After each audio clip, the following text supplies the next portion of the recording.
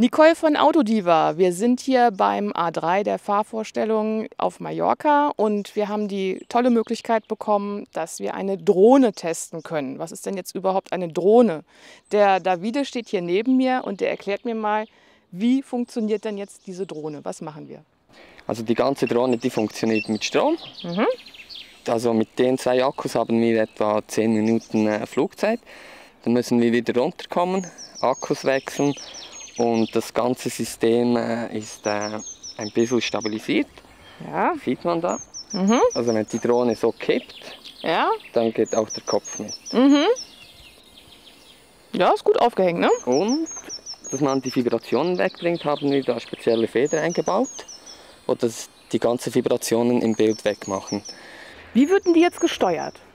Also gesteuert, da haben wir den Christoph, Mhm. der ist Pilot. Hallo Christoph, Hallo?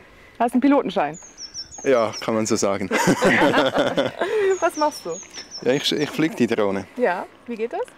Ähm, hat man eine Fernsteuerung, Ja. hat man im Prinzip zwei Joysticks, ein paar Schalter und damit kann man dann die Drohne steuern, hoch, runter.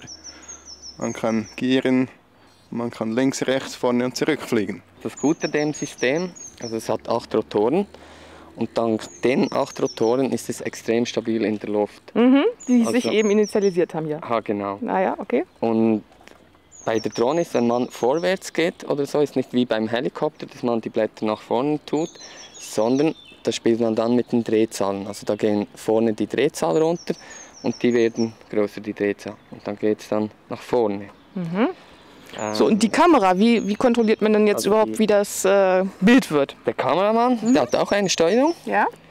Der setzt sich äh, die Brille dann an oder hat auch Monitore zum Schauen. Und das ist die Steuerung vom Kameramann. Da kann man runter und rauf. Und wenn man links, rechts will, dann drehe ich am Pilot den ganzen Vogel. Also da kann ich links und rechts. Und da dreht den ganzen Vogel einfach rum. Ah, okay. und dann muss okay. der Pilot umdenken.